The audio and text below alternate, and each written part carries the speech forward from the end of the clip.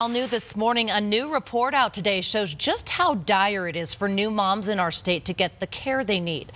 This map shows the 25 counties in Colorado listed as maternal care deserts by the March of Dimes. And you can see most are in the southeastern and southwestern parts of our state. It means there is no OBGYN doctor, no certified nurse, midwife, and no hospital with maternal care. And about 40% of all the counties in Colorado are considered these maternity care deserts, which puts the health of those moms that are having babies, um, their lives at risk, and potentially their babies' lives at risk.